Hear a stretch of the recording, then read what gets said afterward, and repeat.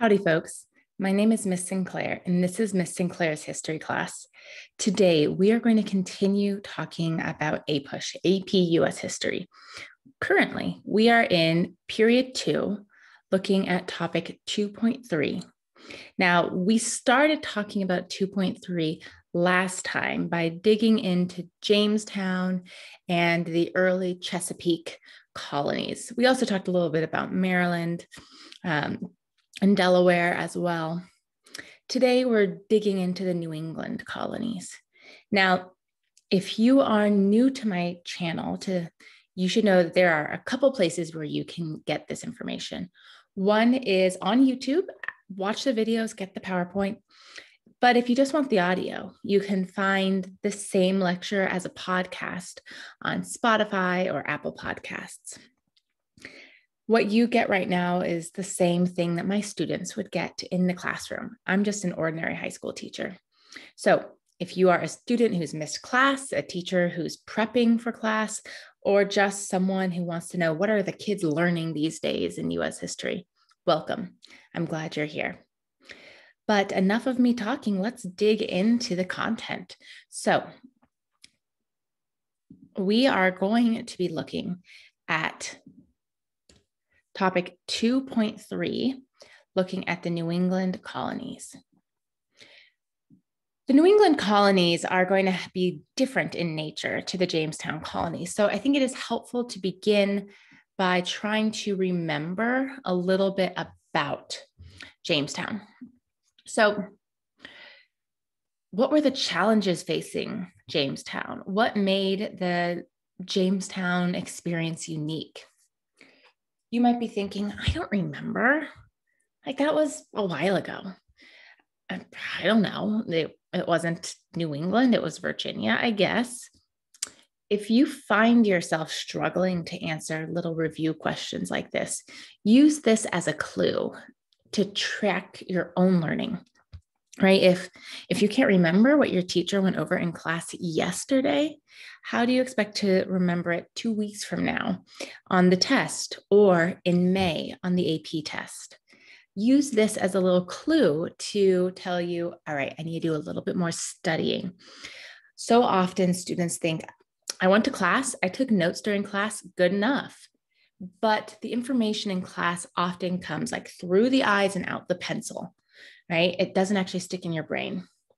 So you may consider reading over your notes in the evening or summarizing them or making flashcards.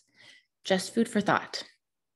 So, what were some of the challenges facing Jamestown? You know, there was famine, there was bad placement, John Smith had to come in. We're going to see different challenges facing New England. So, our objective today is you will be able to explain how and why environmental and other factors shaped the, the development and expansion of the New England colonies. Okay, now when you think New England colonies, most people think Puritans, pilgrims, which is not incorrect. But to really understand the choices that the Puritans make in regards to how they structure their society, what they value. You have to understand a little bit of Christian theology. Now, you might be thinking, this isn't world history or this isn't a religious class. This is AP US history. Why does any of this matter? Well, it matters to us as scholars, as historians, because it mattered to the Puritans right? It would be like trying to understand the values of the ancient Egyptians without knowing their belief system, or understand the value values and choices of the Ottomans or the Abbasid Caliphate without knowing anything about Islam. Right? So context matters, right? Um, what is history without context? It's a bunch of random facts. So bear with me. You don't need to write this stuff down if you're taking notes, but it is helpful context. So, Protestant theology. Let me take things back a couple more steps before I jump into theology. Um, Protestants um, are a branch of Christianity. So, there are generally three branches of Christianity there's the Roman Catholic Church, I think the Pope. There's the Eastern Orthodox Church, and then there's the Protestant Church. Now, the Roman Catholic Church is sort of one large entity, right? It's led by the Pope, it's governed from the Vatican in Rome. The Eastern Orthodox Church is somewhat hierarchical, but it has, still has multiple denominations within it. So you might hear about the Russian Orthodox Church, or the Syrian Orthodox Church, or the Antioch Orthodox Church, or Greek Orthodox, right? And their priests can get married. They are led by a patriarch who is sort of the head of their religious order. And then finally, you have Protestants. The Protestant church is much less hierarchical. And in fact, it splinters into a bunch of different denominations. So, Lutherans, Baptists, Presbyterians, Anglicans, you know, non denominational churches. These are all Protestant churches, Methodists, um, American Methodist Episcopal churches, right? These are all Protestant denominations. So, before I talk about the Protestant Reformation, I'm going to give us a little bit of context of that. Let's stick with theology. In the beginning, God creates the heavens and the earth, and it was good, right? Like that's opening lines of the Bible. A lot of people can recognize that. You'll hear it referenced in books and movies and comic books, right? This is this is a recognizable concept. So, Protestants believe that God creates a perfect world. Perfect, right? you never get a hangnail, right? You never um, will be hungry. Um, you never step on a thorn, right? It's life is perfect. It's always 75 and sunny with a nice breeze. And the n- nature of this God is significant, right? You might learn about Roman gods or Greek gods, right? Zeus was capricious. He cheated on his wife. He lied. He slept with ladies. He had a bunch of kids, right? He acted like a human in many ways. You might hear about other gods who required sacrifices, right? We know that the Aztec gods required sacrifices to appease them, to get their goodwill. Well, the God of Christianity and this is the same sort of this origin story would also work for all of our Abrahamic religions, meaning Judaism and Islam as well. So this God is much more abstract, right? He is all knowing, all powerful, all loving, and always just. What does that mean? That means he demands justice. And we use he pronouns, uh, he, him pronouns when we talk about God because that's how the Bible describes him. So we're just honoring the source material. that's how God talks about himself. He chose his pronouns. So, um, what does that mean? Well, it means God knows everything, right? God knows about the little lie you told. He knows about the kid being abused in secret, to the evil plans being made. Um, he knows what happened in the past, the true story of what happened, and he knows what's going to happen in the future. God's all powerful, which means he can do whatever he wants, right? He could get rid of gravity if he wanted to. Um, and he's always loving. That means he wants what's good for his people. But he's always just. So we want justice, right? Even a four year old understands the concept of justice.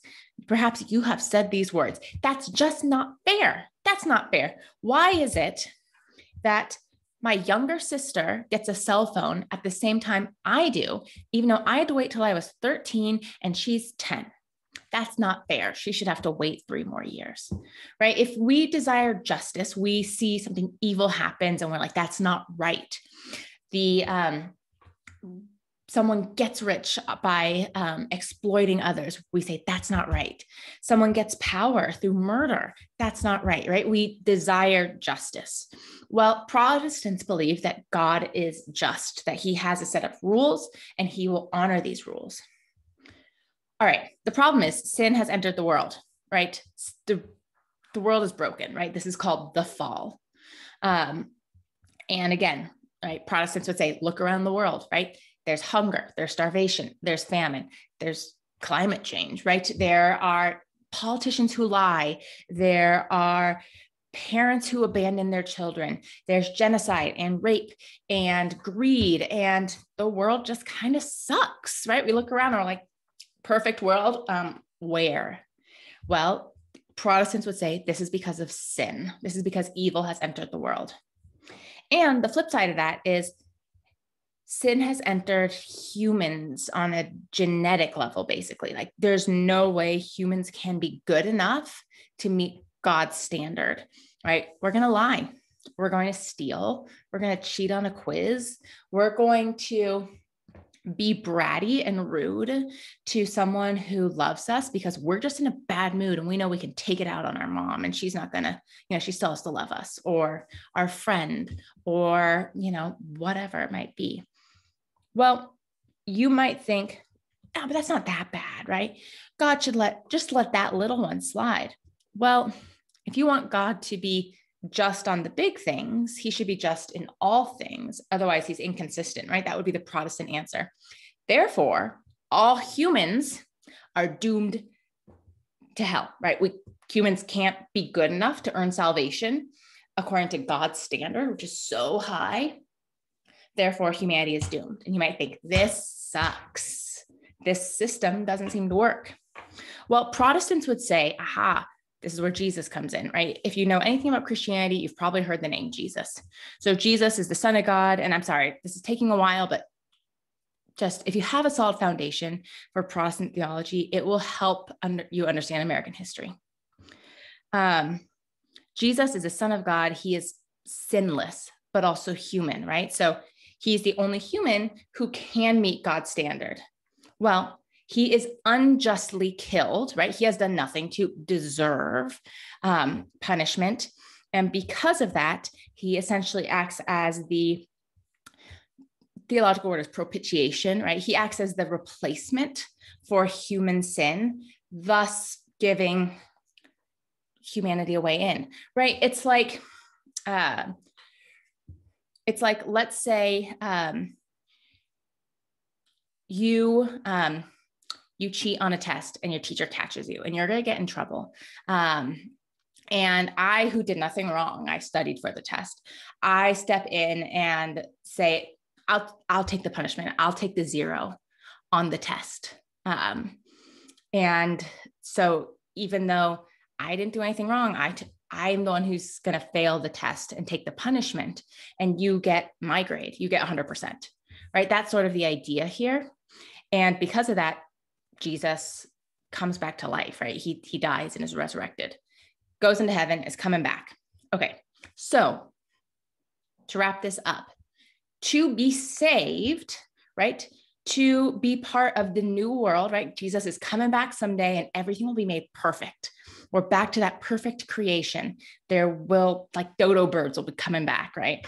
Um, there will be no pain, there will be no hunger, everything will be perfect if you want to be there, right? If you want to come back to life and be part of that, you have to believe in Jesus. You have to admit that you can't save yourself and you have to believe in Jesus. And how do we know what God wants? How do we know how to live in a way that pleases God and Jesus? You read the Bible. Okay. I know that was quite the information dump.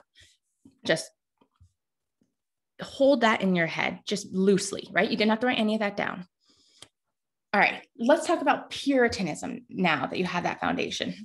So, I mentioned the Roman Catholic Church. For much of world history, um, the Roman Catholic Church was the main arbitrator. Arbitrator, I use that word right. Um, the main um, authority of Christianity, right? The Pope decides what is sin and what is not sin. And Catholic theology believes that to receive God's grace, to be saved, right? To make sure you're part of the new creation, to be saved from damnation, Catholic theology says you have to do a few things to receive that grace. You need to pray, you need to be baptized, you need to be confirmed, you need to confess your sins, you need to do X, Y, and Z. Well, in 1517, a German monk named Martin Luther is like, no, you don't he he reads the bible and his interpretation of the text this is why you need to go to your sources right to know your primary sources um, He says, no, the Bible doesn't actually say that. And this idea takes off.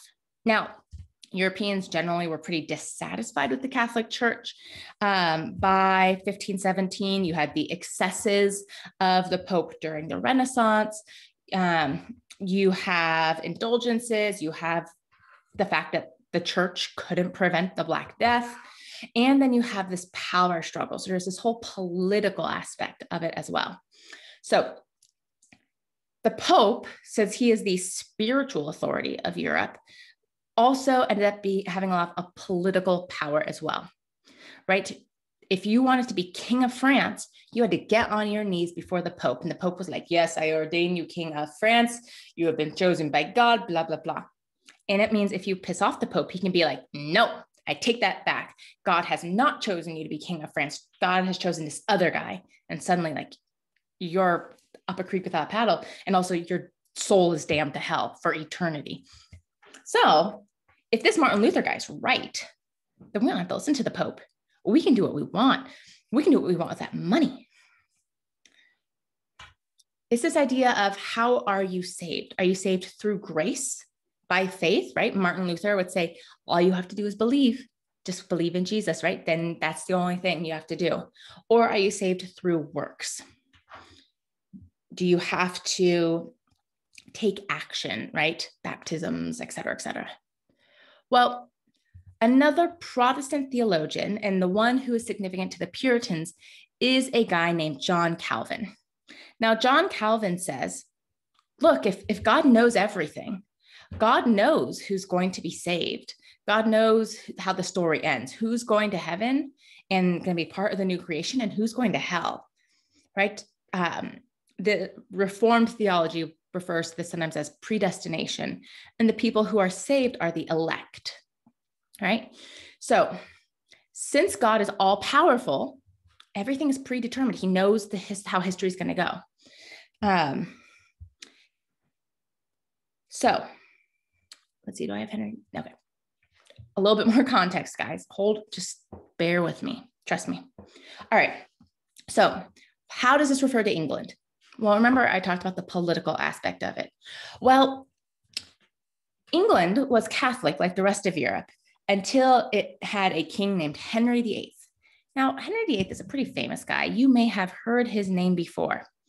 Henry was not supposed to originally be king. His brother was going to be king. And his brother was married to the young Spanish princess, Catherine of Aragon. They get married, brother goes off to war, gets killed. So now Henry VIII is king. And it'd be really helpful to hold on to this alliance with Spain. So he writes to Pope and he's like, Dear Pope, I would like to please, please, please be married to my brother's widow. And the Pope is like, uh, I'm not so sure. Like, technically, you guys are brother and sister, right? Because she was your brother's wife. That makes her your sister in law. Like, that's kind of skeevy. And he's like, no, no, no, don't worry. Like she told me they never had sex. And so like, it's fine. It's not weird. Um, and the Pope's like, okay, okay, sure. You guys are young, whatever. Okay. They go on to have one child, a daughter, and Henry waits. And Catherine's not having any other kids, no sons. And he needs a son. Enter this beautiful young woman named Anne Boleyn, who quickly becomes Henry's mistress. So it'd be really convenient if he could ditch Catherine, who's old now, and marry young Anne Boleyn, because she can probably get pregnant, right? So he writes to Pope Dear Pope, I would like to divorce Catherine and marry Anne. I mean, it's kind of weird marrying my sister in law anyway. And the Pope is like, No, no, are you kidding me? You already asked for a special favor to marry Catherine in the first place. I'm not letting you divorce Catherine um, so you can marry your side chick. Like, come on, man. Henry's pretty peeved about that until he realizes, aha, there's this whole Protestant thing happening. And if we're Protestant, then we don't have to listen to the Pope. So he's like, boom. Uh, England is Protestant now. We are Anglican and I'm in charge. I'm the head of the Anglican Church. So the Church of England is the Anglican Church. Now, to give credit where credit's due, right? The English Reformation has real theological bones to it. Um, there's, it's not all just Henry wanting to get laid, but it's a little bit of Henry wanting to get laid. So the Anglican Church is going to be the main religious authority in England. Now, because the inciting incident that led to the creation of the Anglican Church was a political one more than a theological one, it means that in many ways, the Anglican Church is Catholic light. They are still wearing the robes, they have the incense, they have the candles and cathedrals and stained glass and bishops and archbishops. And some Protestants in England say, that's not good enough, right? You guys are still too Catholic, right? Like, we got to go all in on this Protestantism, right? John Calvin says predestination. And if you want to make sure you're part of the elect, you need to make sure you are living in a way that honors God. And Anglicans, I don't think you are. So the Puritans wanted to purify the Anglican church. The Pilgrims said there's no saving it, right? The Anglican church is doomed. Therefore, we're getting Ab Dodge, right? Um, in England, they were not allowed to practice their faith, um, which was not part of the Anglican tradition, right? Um, so they're going to go to the uh, to Holland to the uh, to be with the Dutch and realize, well, this isn't what we want either. So they're going to decide to go to the New World. All right, now I really want to start taking notes. If you think about some of the other push factors pushing people to the new world, there are economic issues, right? By this point, we had a depression in the wool industry. Um, economically, we had crazy inflation thanks to Spanish silver coming over from the New World. There was a malaria outbreak near London. And in general, thanks to the new food coming from the New World in the form of maize and potatoes, you had a huge population boom. And it would be very convenient for England to get rid of some of these people off the island. So we see that the pilgrims, these separatists, right?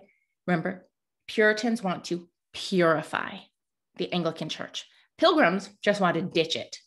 So the pilgrims decide to settle in the New World.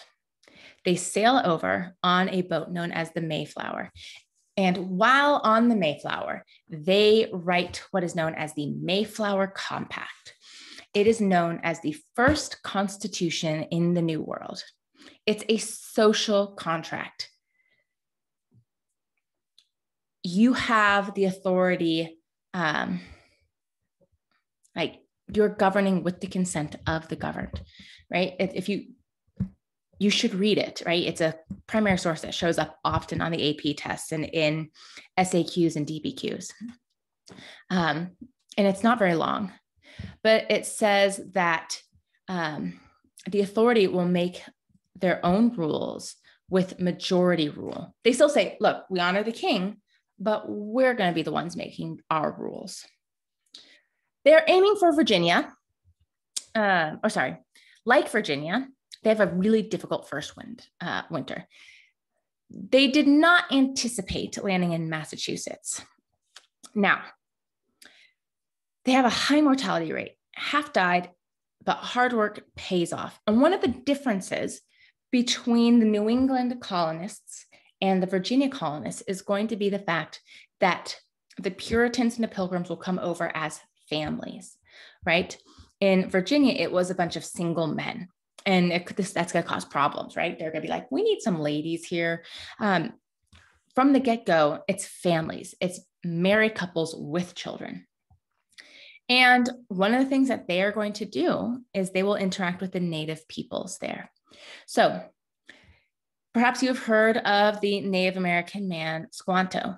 He knew English because he had been kidnapped by the British and had traveled all over the world as kind of a novelty, right? Look at what we caught. It's like if you caught a bear, right? Or a bird in New Guinea. It's tragic that a human being was treated so cavalierly. Now, by this point, Native Americans in New England had contact with British, Dutch, French traders. It's not like um, the pilgrims arrive and Native Americans wander out from the trees and are like, oh, I've never seen a white man before. No, they did business with Europeans all the time.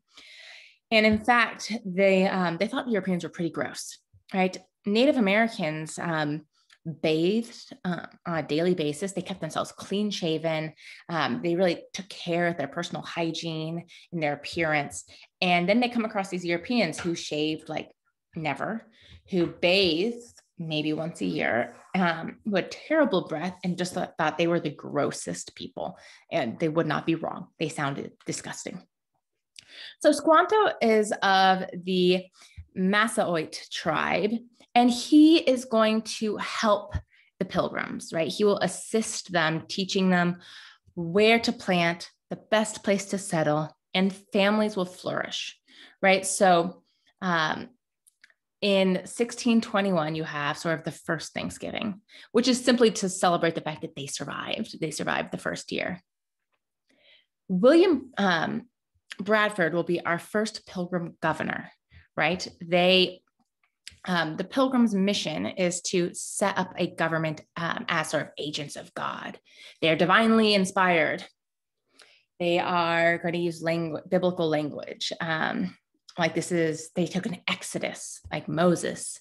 Um, they're creating this is the new Canaan they're settling the land. Um, this is the new holy land. Um, bradford is um, going to set the tone for new england. Um, it's not just going to be economic gain. Like jamestown is designed specifically to let's make that money right if we can't find gold, we'll grow it in the form of tobacco. Really, New England from the get go wants to create a life. They want to create a haven. So, this is what I mean why you need to understand a little bit about Christian theology, because it is their motivation for settling, it's their motivation for creating lands and communities right? They're not just here to exploit and make money.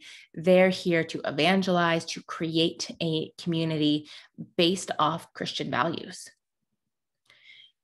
Jonathan Winthrop um, is going to give a very famous speech where he calls the Puritan community, right, this pilgrim community, a uh, city on a hill, which is um, biblical language, right? We will be a city on a hill, the New Jerusalem. And this is going to be in contrast to the Anglican Church, right? Who um, they view as highly problematic. The Pilgrims will be the first people to really call themselves Americans. And um, by 1640, I mean, between 1630 and 1640, over 10,000 um, Puritans um, will migrate over. So you have the Pilgrims and you also have the Puritans. Um, if you were in my class, we would take a moment to read the Mayflower Compact and analyze it. Um, I'm not going to read it out loud to you. If you're watching this video, you'll see the text of the Mayflower Compact on your screen. I would encourage you to read it. Ask yourself, okay, what is it being, what's being said here? Can I summarize this document in like three sentences? Do I understand what is in front of me? Primary source analysis is incredibly important in APUSH your multiple choice questions will have a source. It might have an excerpt from the Mayflower Compact, and you will be expected to read that document, be able to place it in its historical context, and then answer questions that require critical thinking. It's not just um, who wrote the Mayflower Compact? A, the Pilgrims.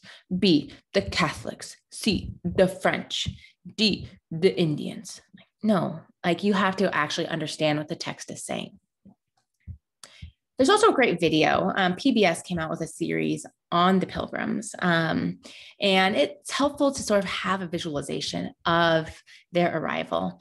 If you go to my YouTube channel and you look in the APUSH period two um, video playlist, you can find this as well as all the videos I show in class.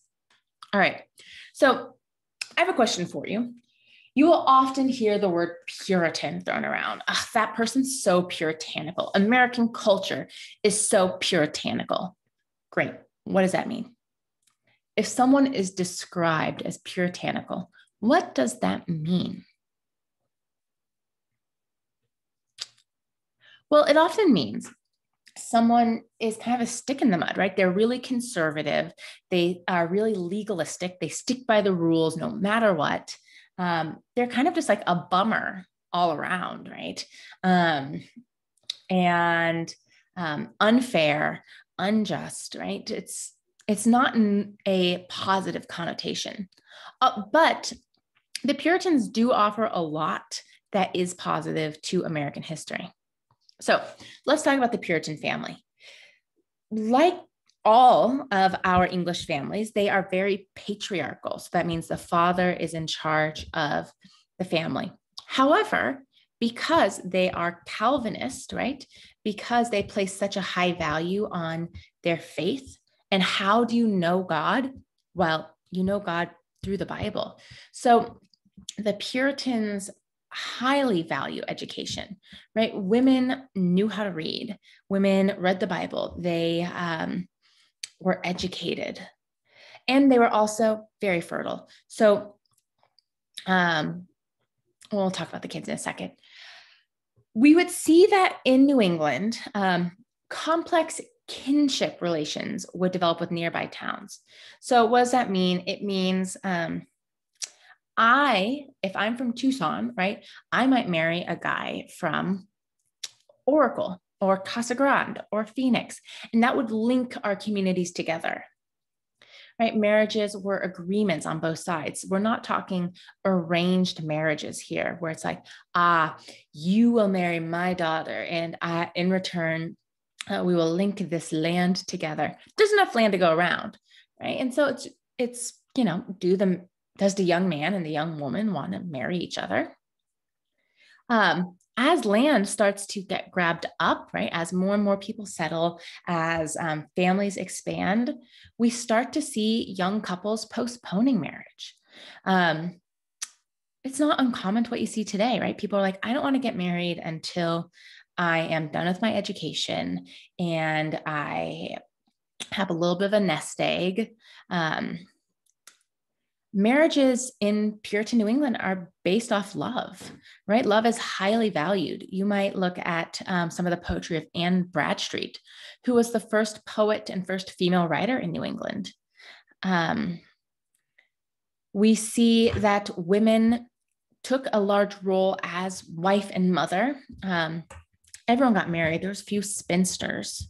And what was your job as a Puritan mother?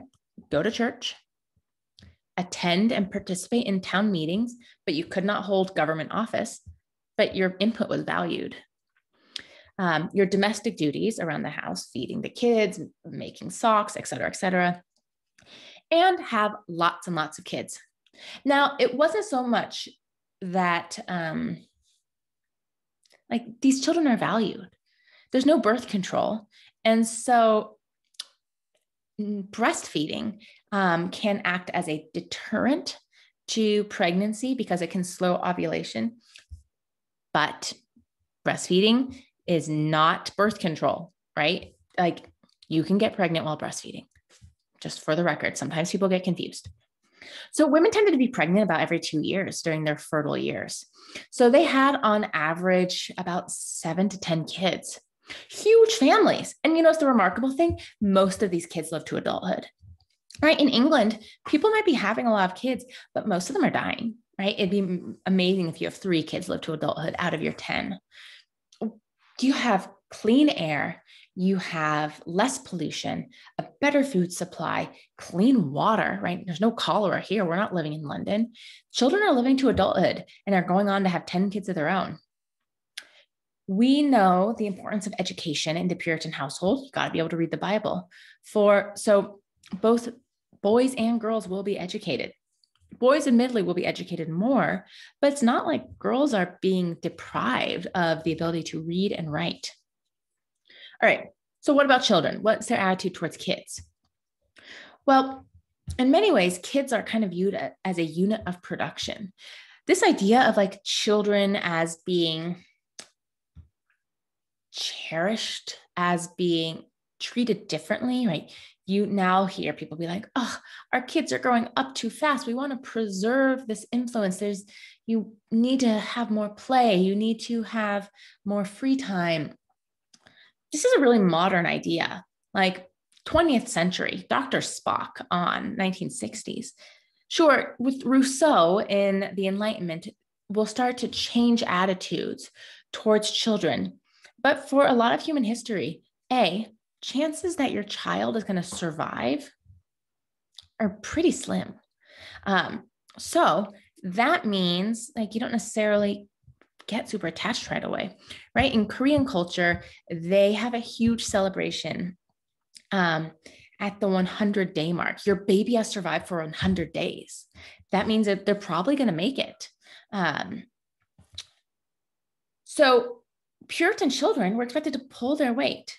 Now, it's not like you're sending a two year old out there to thresh the wheat, but a two year old can collect eggs. A five year old can help milk the cow. Um, a seven year old can help churn butter. Think about how much work it would take to just live day to day life.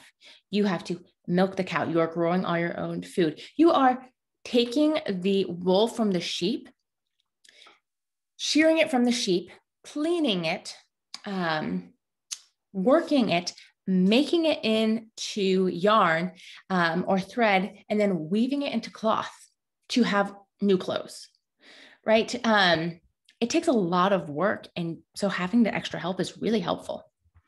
So children should not be willful, they should be obedient. Um, remember, Puritans work off of this belief, this Protestant belief that sin is everywhere. Right? Children are not inherently good because they're kids. Have you ever been around a toddler? They're throwing tantrums when they don't get their way. Like they are inherently selfish. They don't want to share. Um, Puritans interpret this as like, look, it's just their sin nature coming out, right? Um, humans are just all stained by sin. We can't escape it. So we as parents, Puritan parents, need to raise our children up so that they know the Lord. That means they are obedient, right? Um, one author describes kids as like angelic vipers. Um, so, Anne Bradstreet, early Puritan poet, she writes in the book Children, or not book, in the poem Children, I had eight birds hatched in one nest. Four males there were, and hens the rest. I nursed them up with pain and care, nor cost nor labor did I spare, till at last they felt their wing, mounted the trees, and learned to sing. Chief of the brood then took his flight to regions far and left me quite. My mournful chirps I after send, till he return or I do end right? It's not just parents viewed kids as little sin machines that they could put to work. And shows that this love and affection that they valued in marriage, they also valued in their family. They loved their kids.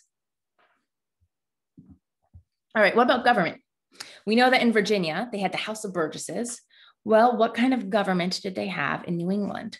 Well, as the Virgin, um, New England colony grows, um, we are going to start to see a shift, right? The Massachusetts Bay Company will be founded in 1630. Right in 1629, King Charles gave the Puritans the right to settle and govern a colony in the Massachusetts Bay Area. The colony established political freedom and a representative government. So in Virginia, you had like 90% suffrage. Remember, in England, you just had to have three acres to vote. Well, three acres is nothing in the New World. So 90% of um, New England men could vote. The general court was the term that they used to talk about their government. It's like the equivalent of the House of Burgesses. So th- it was made up of the House of Assistants, which is kind of like the Senate, and then the House of Deputies, which was kind of like the House of Representatives. So this is very similar to Virginia's House of Burgesses. the Puritans were known as Congregationalists and would refer to themselves, you know, Christians would be referred to as saints. Now, don't think Mother Teresa or Saint Augustine or, um, you know, something like that. Um, the Bible describes all believers as saints. That's just a word used to it. So they have um, this covenant of grace, which means um, this is the agreement with God that you will be saved. And in the congregational church, you have a pastor, but then you have your parishioners, right? The congregation, the members, and they would get to participate in decision making. So it's not like the Anglican church, and it's not like the Catholic church where you have the priest who makes all the decisions. In a congregational church, you are participating, right? You gained membership um, based off a um, what's the word I want? Your testimony of faith, and then um, you would be part of electing your minister um, and all that jazz. All right, sorry, I went backwards. All right, there's a very silly video um, called Puritan Faith. You can find it on YouTube. It is a parody of George Michael's song Faith, except it's about the Puritans. Um, all right, after 1660, we had three problems. Um, the first one is a social problem. Ooh, we're finding that a lot of our Puritan kids aren't quite living up to their parents' standards, right? Um, parents aren't confident that their kids have really been able to pass the test of salvation. How do you know that you're part of the elect, that you are predestined to go to heaven? Well, you, you know, sort of pass a test in front of your church. Um, you have to answer questions, talk about your um, sort of testimony about how you came to faith in God. And these kids are not able to pass. They have a, uh, we see that time has dampened zeal, as one Puritan describes it there's simply less religious fervor. So this is really problematic, right? Um, what they do in many ways is essentially lower the standard. It's called the halfway covenant. In the halfway covenant, which is going to be established in 1662, um, members and their children um, could be baptized, right? So their kids became sort of partial members.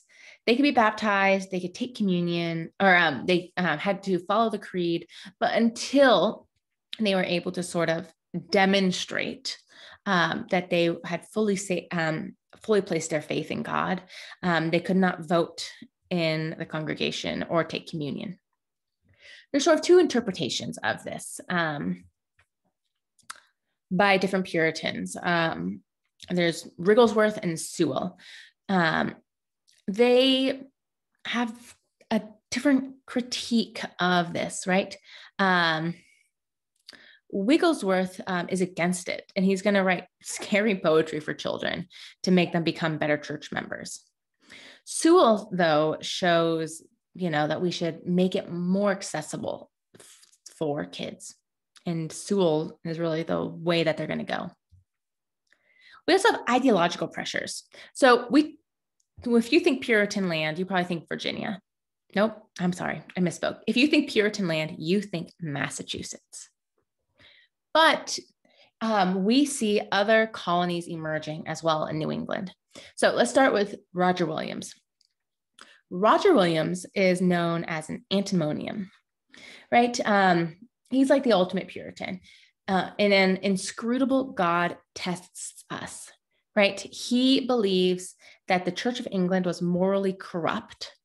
And he's also going to believe in religious freedom, right? Um, that there should be a separation between church and state. So he's going to be kicked out of um, Massachusetts because of these heretical views. Um, and he will buy land from Native Americans, right? He's not just taking it. Um, he's negotiating and buying the land. He will found Rhode Island and um, Connecticut will be formed as well um, out of some of this land. So, what's Roger William? What's Rhode Island going to look like um, in Connecticut? Well, you'll see a separation of church and state and religious freedom, right? There's no compulsory church worship. Faith alone is enough to go to heaven. Who cares if you go to church, right? That's Roger Williams' take. Um, Jews are allowed to be here, Catholics too, right? This is the only place in the England English colony so far that Jews can be. Um, we also have Anne Hutchinson. She's another problematic um, Puritan for um, the general court. Anne Hutchinson is going to speak out and criticize Puritan theology and leadership. Um, she illustrates this sort of Puritan contradiction, right? Puritans will firmly believe a thousand percent you are saved by grace, not works, right? You, you ask a question, um, how are you saved? By grace, not works. Boom. Okay. Well, if I'm just saved by grace through faith, why do I have to do this other stuff? Why do I have to take a test to prove my faith in front of the congregational church? Why do I need to take all these steps and um, do X, Y, and Z? She had heard the English preacher John Cotton preach and believed in his free grace theology that the gift of eternal life is free. All you have to do is believe in Jesus, right? There's nothing else you need to do. Well, the fact that she challenges the tension of like, no, like you have to go to church in this way, and you have to do this, and you have to do that, and you have to um like pass the test and then halfway cup, like all these things. Um, she is going to be kicked out again by John Winthrop, um, first governor. Um, and she will be expelled from Massachusetts with all 14 of her children. Oh my gosh, so many kids, and her husband. She'll go to Rhode Island at first, but eventually her followers will found New Hampshire. All right, third problem for the Puritans foreign interference. They very much would like to do their own thing. Remember, they're the first, you know, um, Calvinists in New England are the pilgrims who were trying to completely separate from England. So the fact that you now have the Massachusetts Bay Colony and the king interfering is not great. By the 1680s, the colonies were profitable and arrogant. Um, and so um, they're flourishing, they're making a lot of money, there's a lot of people. So the UK decides to reorganize he uh, the king decides to make this the dominion of new england he's trying to control loyalty increase profit so basically all of the territory from canada to new york will be governed by one governor edmund andros. And it is a complete failure. It's a short-lived experiment.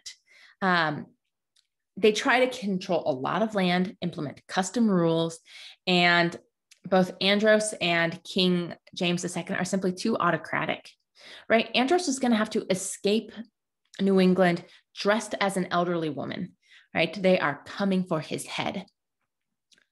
And then things change in 1688 with the Glorious Revolution, um, with King James II being removed from power. All right, I know this is a lot. Um, and I know this is longer than the one on the Chesapeakes, but it's it's important.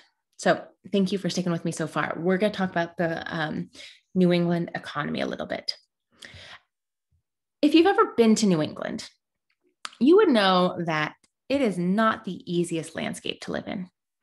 Um, it's not like the Chesapeake region or when we get down south, um, or we start talking about Pennsylvania and gosh, South Carolina, like this is land you can farm. New England has long, cold winters. It is densely forested. The soil is rocky and it is difficult to survive.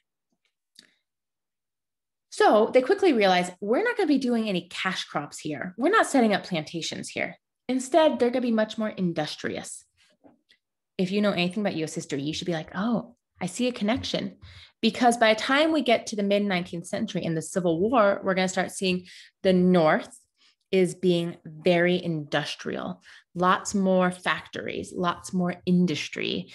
And the South is going to be more agricultural. We're already seeing this pattern being laid in the 17th century. We're seeing that the geography of New England is going to lend itself towards trade and industry much more than agriculture. They're going to be merchants. They will be fishing cod, right? You might have heard of Cape Cod. Um, they will be cutting down trees. Um, we will see that they have a lot of shipbuilding. Um, they're going to be major part of the um, traders that T R A D E R, um, who are um, shipping goods back to England. Now, Puritans aren't supposed to be greedy, right? If you are living in a way that honors God, well, you know um, jesus says it's easier for a camel to go through the eye of a needle than a rich man to get into heaven. On the other hand if the money's there to be made right protestant work ethic protestant work ethic god's rewarding them for their faithfulness right? They will refer to this as the serpent of prosperity. It's it's hard because profit produces temptation right? They the colonies will participate in triangle trade. The colonies send raw materials to Europe. Europe says sends raw material or manufactured goods, right? They take that raw material, they make stuff out of it. They'll sell those goods back to the colonies and to Africa, and then Africa will sell slaves to the West Indies. All right, some other New England colonies. Um, Thomas Hooker will found Connecticut of territory that had been part of Rhode Island in 1635. We've already talked about how New Hampshire will be formed in 1679, and then Maine um, will be formed in 1623. Hooker um, essentially gets its start as a squatter colony, right? They just are like, we're here, we're our own colony. And eventually they're like, all right. They settled in this area um, around Hartford. And um, we see that Connecticut had more expansive voting rights than Massachusetts. Okay. So there's a great crash course on colonizing America, right? The true story of Thanksgiving and all that jazz. It's it's helpful to view, um, just get another interpretation. So that's it for us for today. I know it's a long day, but I hope the depth in which I went will give you a better understanding of Puritans and why this specific group of people are significant to American history. So, for your summary, I would like you to explain how and why environmental and other factors shaped the development and expansion of the New England colonies. Thank you for listening. If you have any questions, please ask. Have a great day.